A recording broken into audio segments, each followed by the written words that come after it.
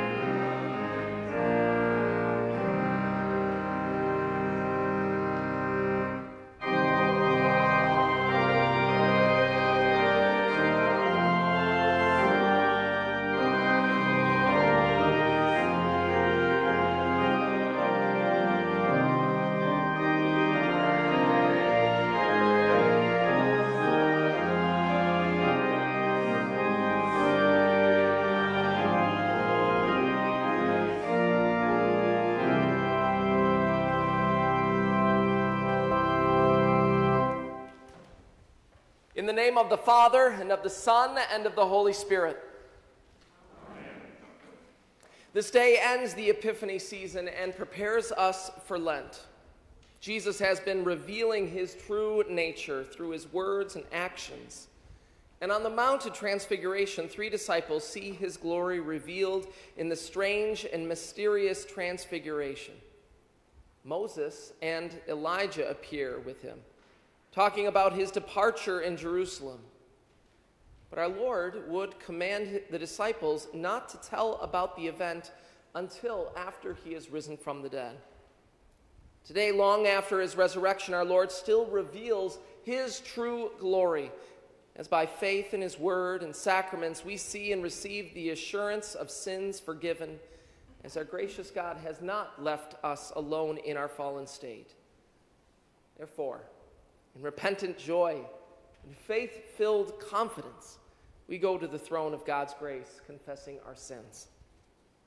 O God our Father, we admit and confess that we are by nature sinful and unclean, and that we have sinned against you in thought, word, and deed.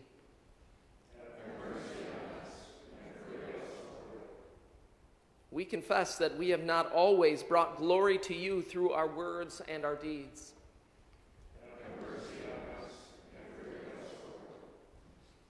We repent of all that is sinful in our lives, both that which we know and those things unknown to us that are against your righteous laws.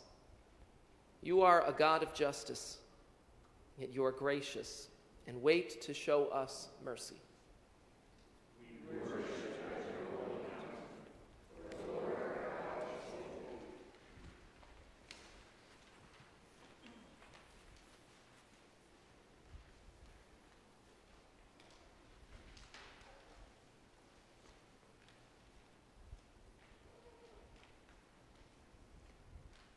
Our hope for daily and eternal forgiveness is secure in Jesus. For he who was transfigured is the one who was raised on the third day. Therefore, upon this your confession and by the command of our Lord, I, as a called and ordained servant of Christ, forgive you for all your sins. In the name of the Father, and of the Son, and of the Holy Spirit. May the God of peace himself sanctify you completely, and may your whole spirit, soul, and body be kept blameless at the coming of our Lord Jesus Christ. He who calls you is faithful, he will surely do it. pray.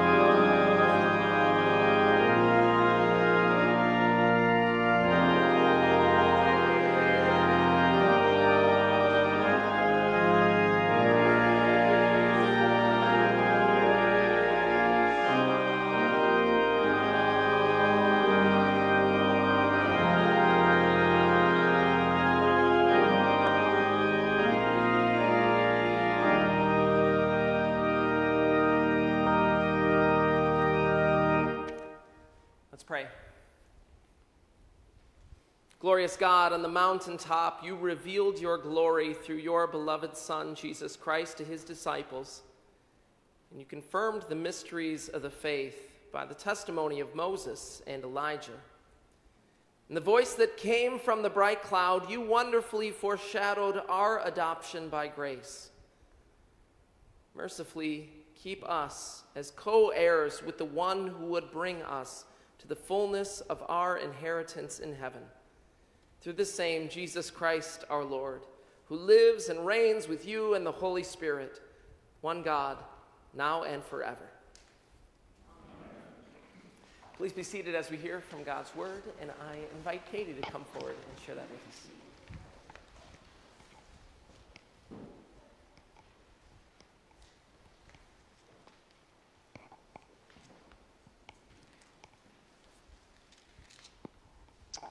The Old Testament reading this morning comes from the book of Exodus, chapter 34, beginning at verse 29. When Moses came down from Mount Sinai with the two tablets of the testimony in his hand, as he came down from the mountain, Moses did not know that the skin of his face shone because he had been talking with God. Aaron and all the people of Israel saw Moses, and behold, the skin of his face shone and they were afraid to come near him. But Moses called to them, and Aaron and all the leaders of the congregation returned to him, and Moses talked with them. Afterward, all the people of Israel came near, and he commanded them all that the Lord had spoken with him in Mount Sinai. And when Moses had finished speaking with them, he put a veil over his face. Whenever Moses went in before the Lord to speak with him, he would remove the veil until he came out. And when he came out and told the people of Israel what he was commanded, the people of Israel would see the face of Moses, that the skin of Moses was Moses' face was shining. And Moses would put the veil over his face again until he went in to speak with him. This is the word of the Lord.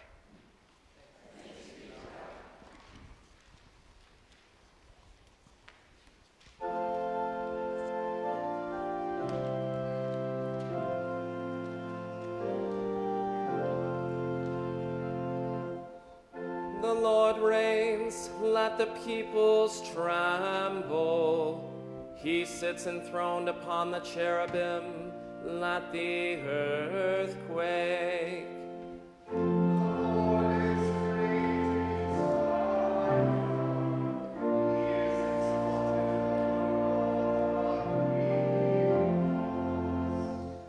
Let them praise your great and awesome name. Holy is the Lord.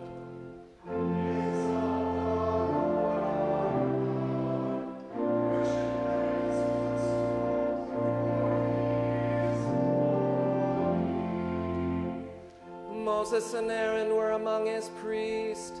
Samuel also was among those who called upon his name. They called to the Lord, and he answered them.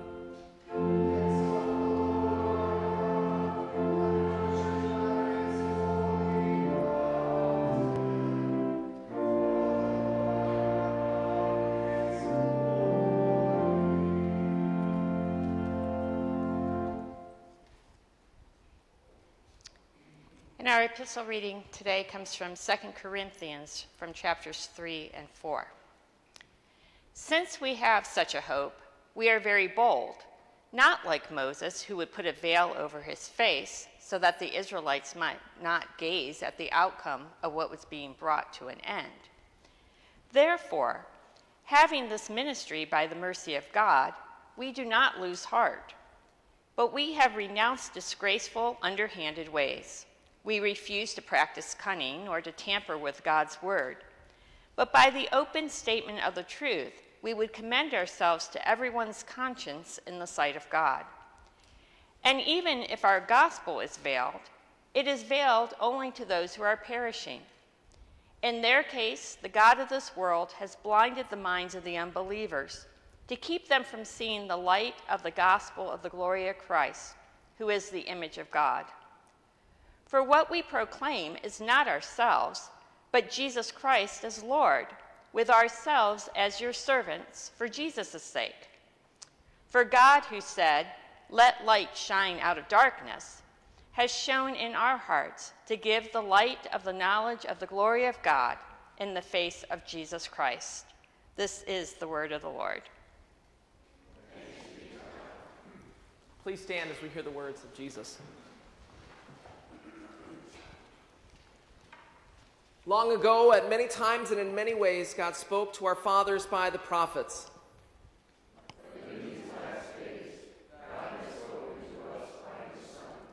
As God the Father said, This is my beloved Son, listen to him.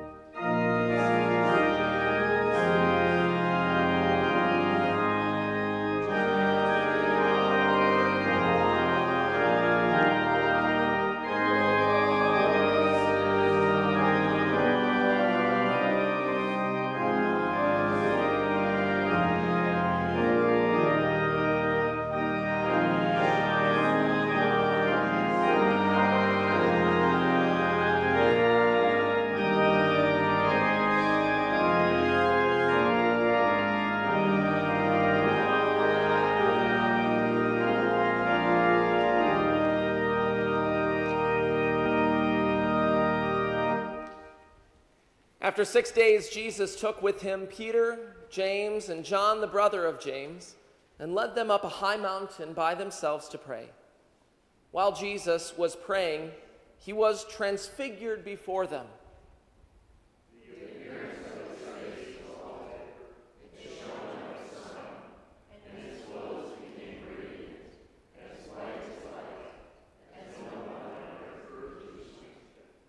And behold, two men appeared before them in glory Moses and Elijah.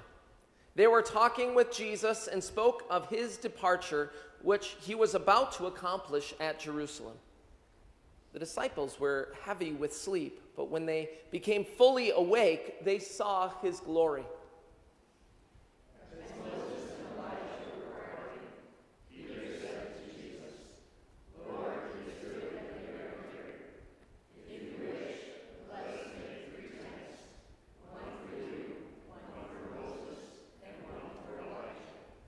Peter did not know what to say, for they were terrified. While he was still speaking, a bright cloud overshadowed them, and they heard a voice from the cloud.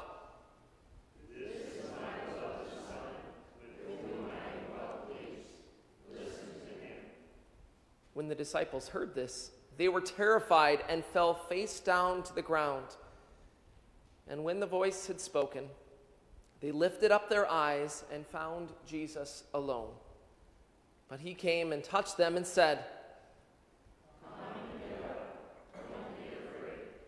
As they were coming down the mountain, Jesus instructed them.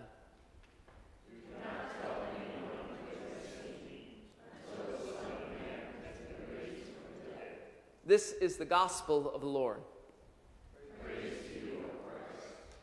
Please be seated as we sing.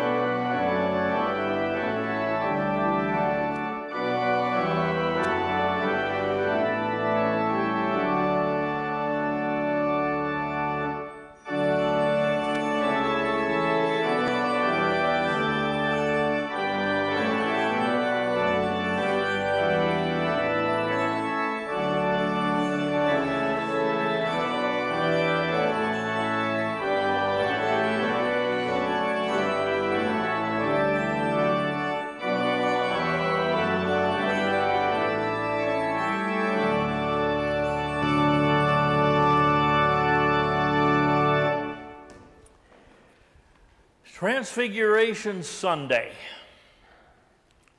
We can almost picture Jesus, Moses, Elijah, all shining in glory. Moses and Elijah because of the glory they have in heaven, Jesus because of the glory of God Himself. An amazing event, right? A powerful event, right? This event, the Transfiguration, is probably one of the first eh, for the church that we would call, and, and through the centuries since then, call, we'd all love to have what? A mountaintop experience, right?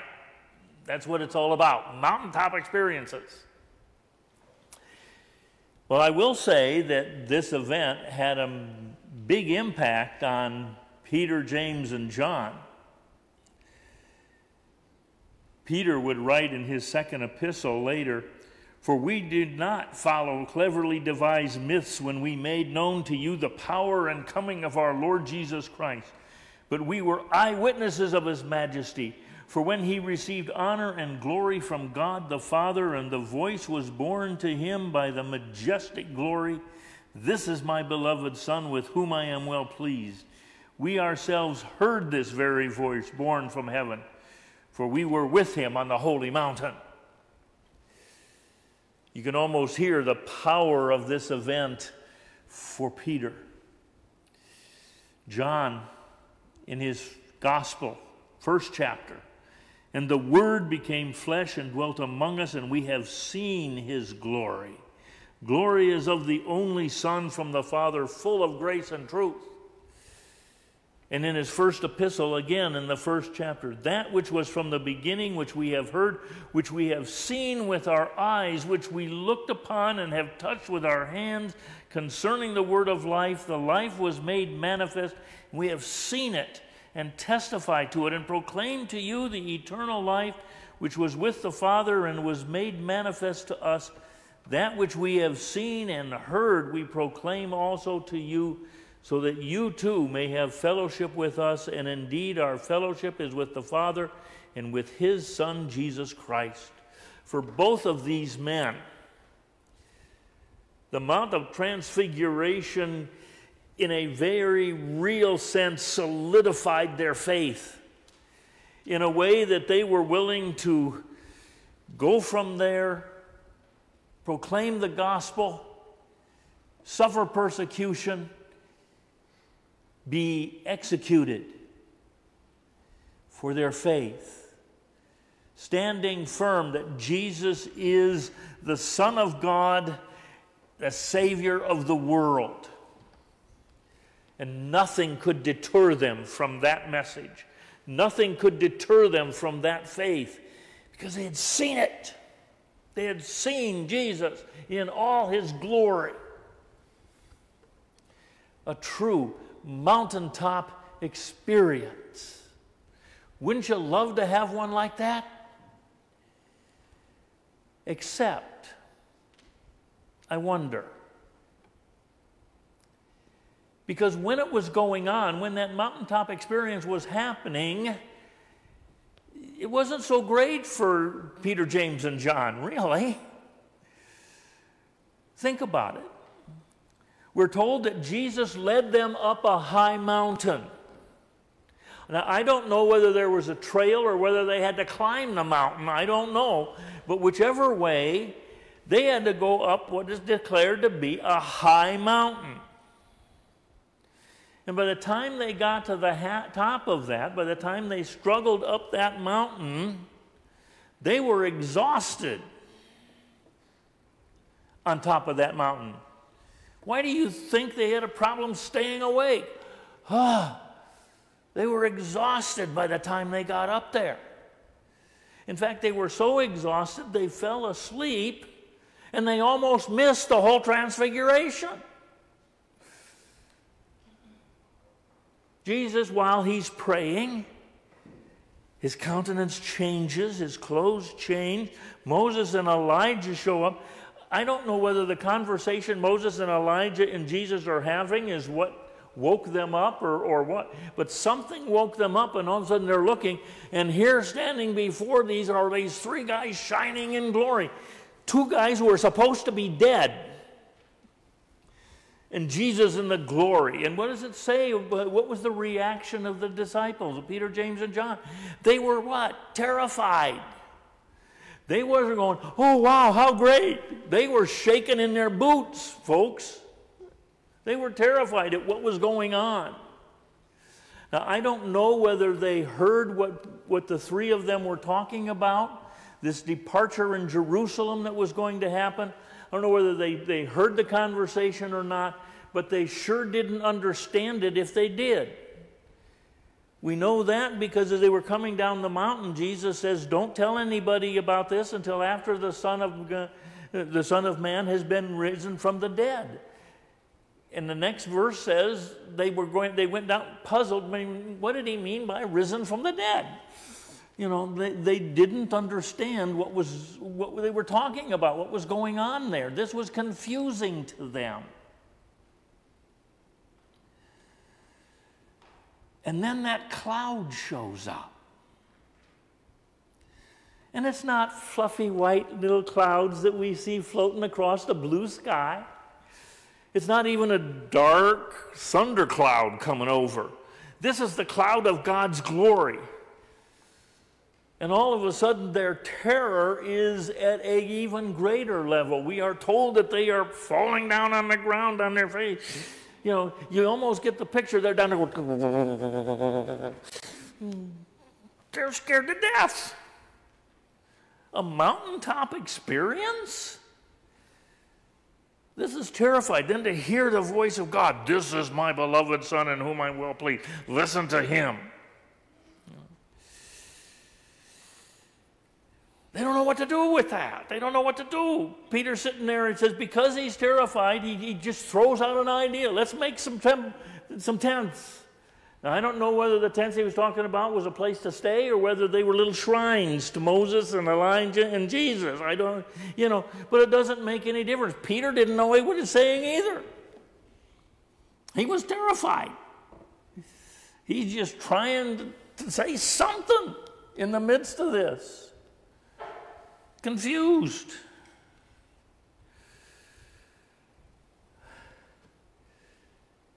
They're sitting there on the ground shivering in terror. And Jesus comes over and touches them. Don't be afraid. And they look up. There's no more Elijah, and there's no more Moses no more shining glory. There's no more cloud. There's no more voice of God. There's just Jesus standing there normal. And I wonder if what passed through their mind is, did this really just happen? Did I dream this? What's going on here? It wasn't until much later, as they reflected back on what happened on that mountain, that the reality set into them. I think that's true because look at what happens after this. They come down off the mountain, they go into Jerusalem, and what happens? Peter will still deny Jesus. These same three disciples who were sleeping while Jesus was praying on the Mount of Transfiguration do what in the Garden of Gethsemane? The same thing. Those three disciples are still sleeping on Jesus.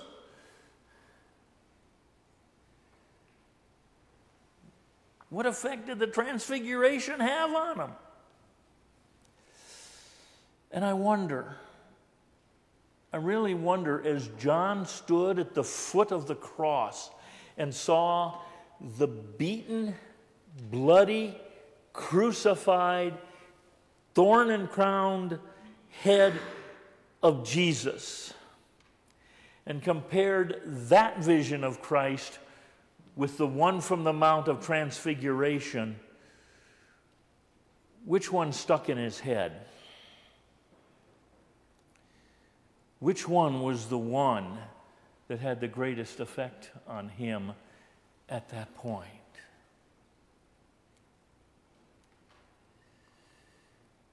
A mountaintop experience? I'm not sure I'd want one of those like that. Like that Mount of Transfiguration. So, what's the point? I think the point lies in the words of God on that mountain. That's the key to the Mount of Transfiguration. Not the shining and glory and everything else, but the words of God. This is my beloved Son in whom I'm well pleased. Listen to him. This is Jesus. This is God. This is the Son of God Himself.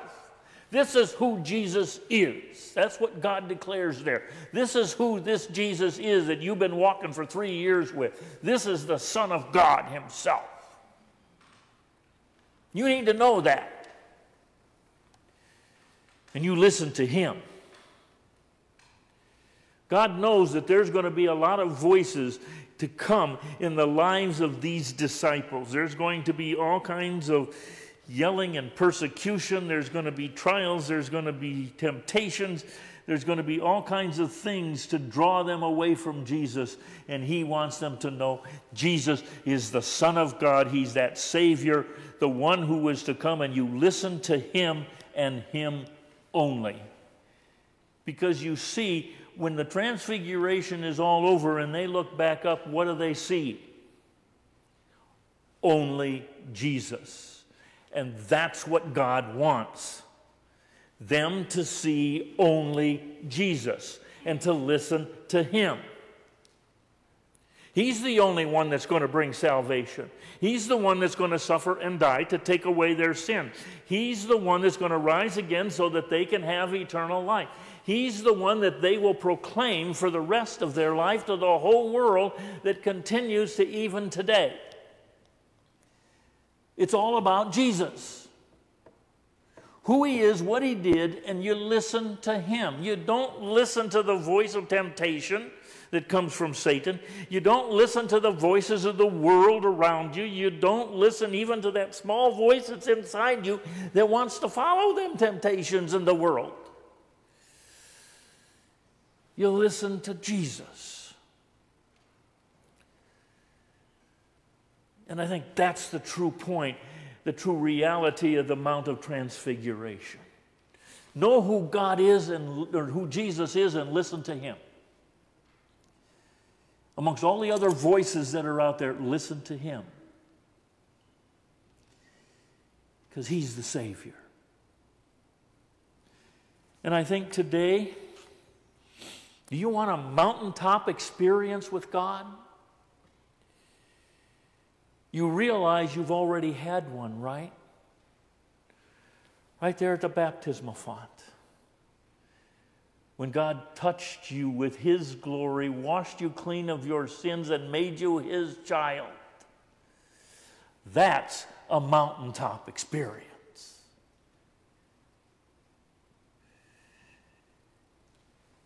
You come to the Lord's table and you eat and you drink the very body and the very blood of your Lord and Savior Jesus Christ in all of his glory as the risen one who forgives your sins. That's a mountaintop experience as you come in intimate contact with your Savior Jesus. You want to hear the voice of God declare, This is my beloved Son in whom I'm well pleased. Listen to him.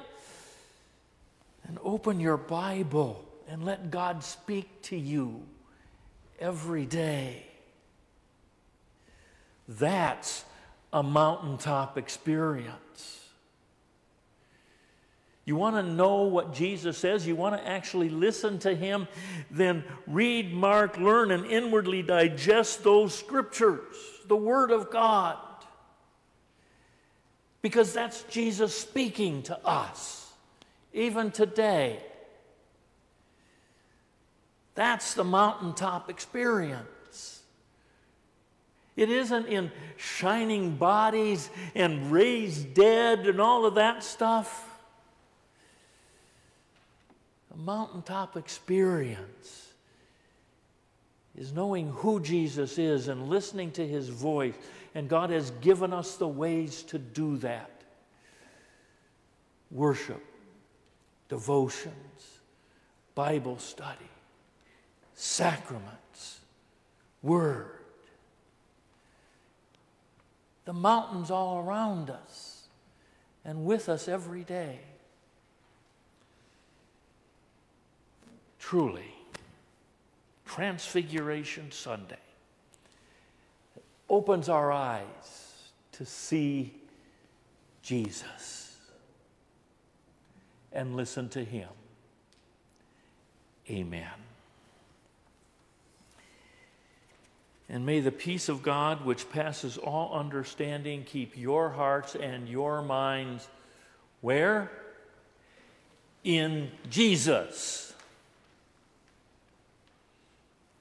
Amen. Let us rise, join together in our response.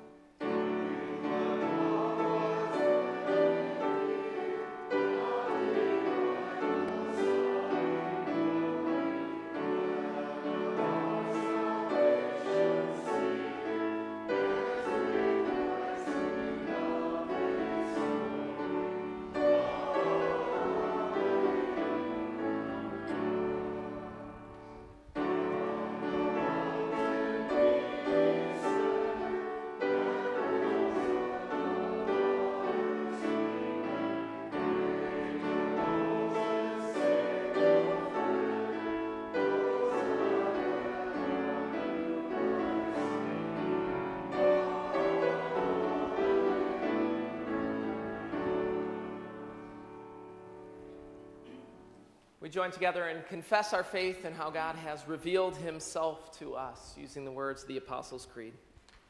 I believe in God, the Father Almighty, maker of heaven and earth, and in Jesus Christ, his only Son, our Lord, who was conceived by the Holy Spirit, born of the Virgin Mary, suffered under Pontius Pilate, was crucified, died, and was buried. He descended into hell. The third day he rose again from the dead. He ascended into heaven and sits at the right hand of God the Father Almighty. From thence he will come to judge the living and the dead. I believe in the Holy Spirit, the holy Christian church, the communion of saints, the forgiveness of sins, the resurrection of the body, and the life everlasting. Please be seated as we worship with our offerings. We gather those so they may be used to proclaim Christ here in this place and out into our community and to the world. I also ask that you grab the black folders that are on the inside of the pews here. Let us know that you're here today and how we can continue to be in contact and connection with you.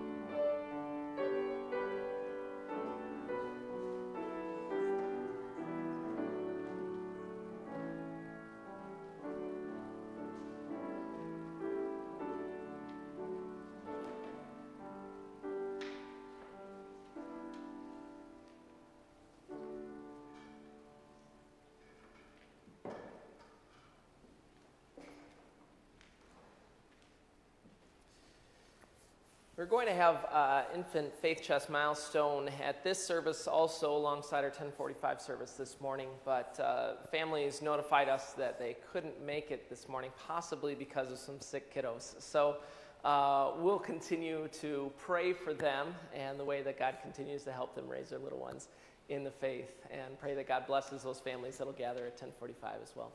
Please stand as we pray.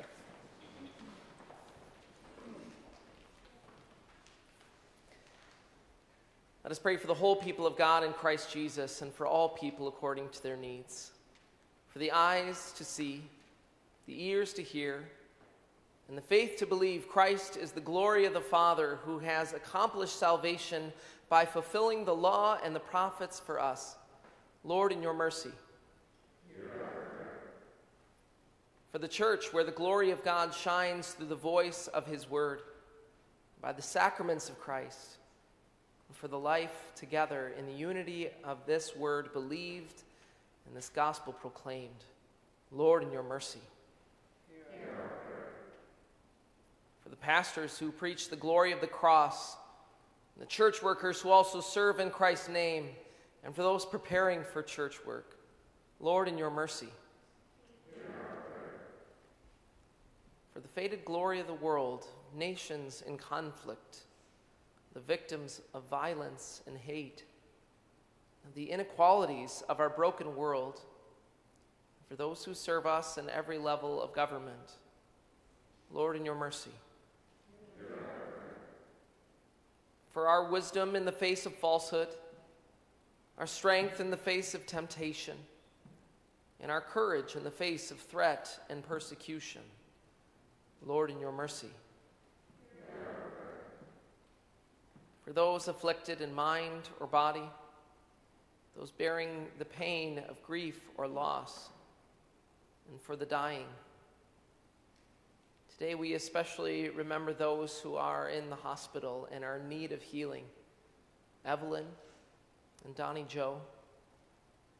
We pray for Jan and her upcoming surgery. Pray that many would receive recovery and healing, like Rachel Tyler, Rosemary, Barb, and Wanda.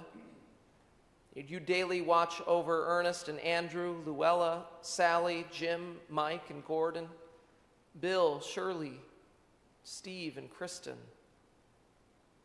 That you would continue to bring strength and healing to those with cancer Greg, Leo, Beth, Harry, Dale, and Wanda, Eric, Virginia, Ken, Shireen, and Stephen, Patty, Deborah, Emily, Nancy, and Tyler.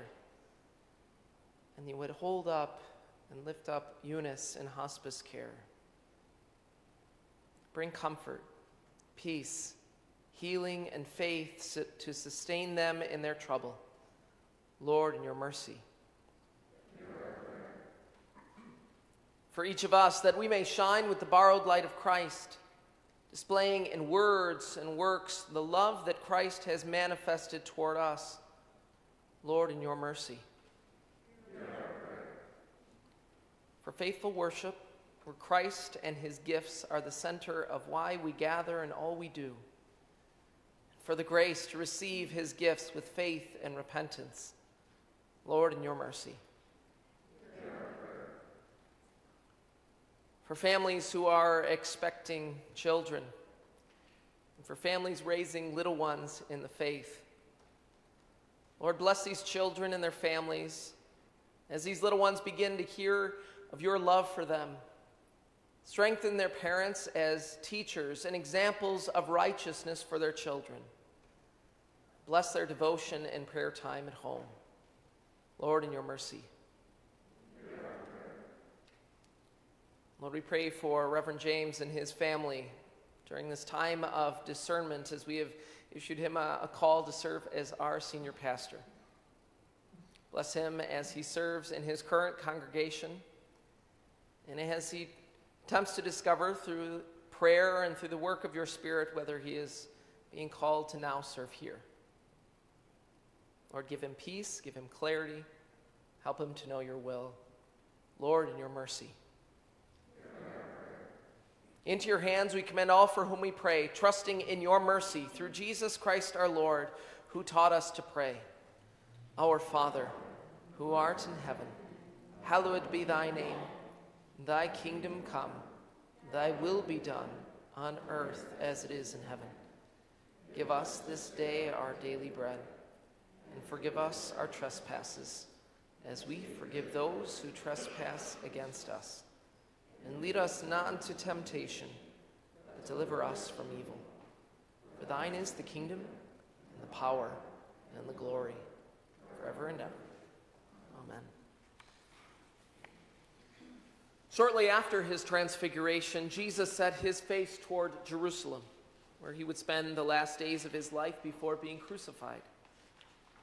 This day marks the end of the Epiphany season, when on Ash Wednesday we begin our season of Lent, a time of reflection, meditation, repentance, and prayer.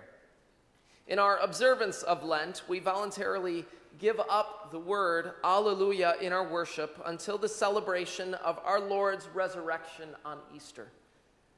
Therefore, we bid farewell to this word as we also set our faces toward Jerusalem. Thank you.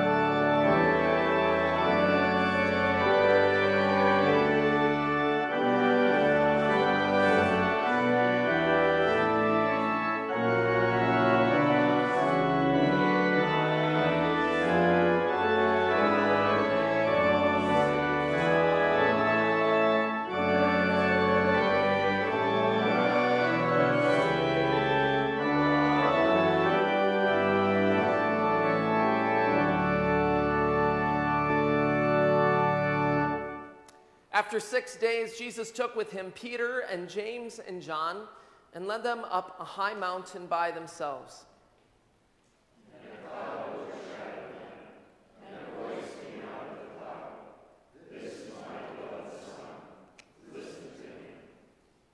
The Lord bless you and keep you.